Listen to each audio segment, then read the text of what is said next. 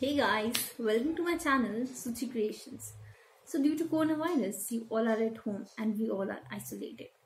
At this point of time, you know, you all must be getting bored at home. So so was I. So I decided, you know, to do something creative.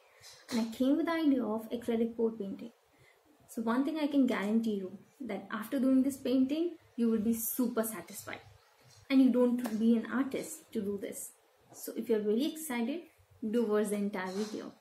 And don't forget to like, share and subscribe to my channel. Acrylic pour painting. So in this painting, I have taken all the acrylic colors. So uh, these colors you can see, I have diluted them by adding little amount of water. So uh, these are all the acrylic colors, different different colors. And this white color, this is of Asian Paints uh, oil color. So it is not mandatory to use this color. You can, instead of using this, you can also use white acrylic color. Okay, so uh, now uh, this uh, by, uh, cells is created by using silicons.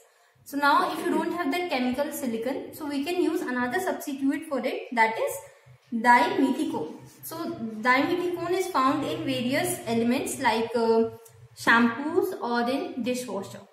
So this, this shampoo you can see this I am using. So whatever you have, you can use that. Just check that you should it should have this uh, chemical known as dimethicone.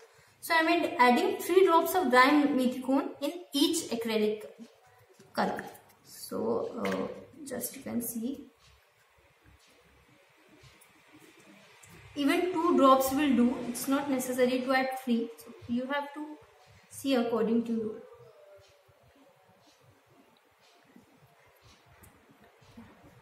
So now we'll mix all the colors well.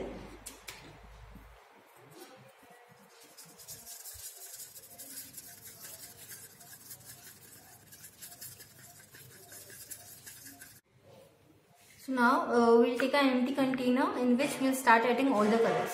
So first I'll add white. White because uh, so that you know oil floats on water so that oil can come on water and form a really good cells. So next I'll add yellow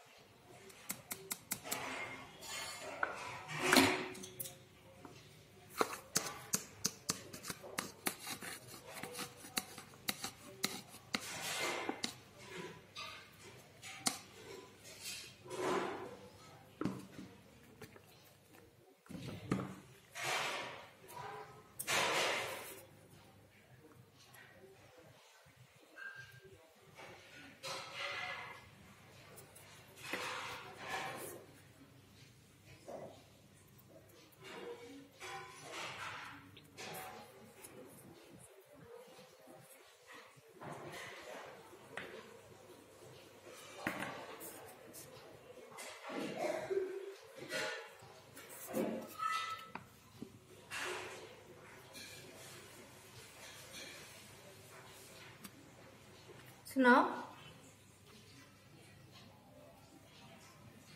we'll pour this color on the canvas.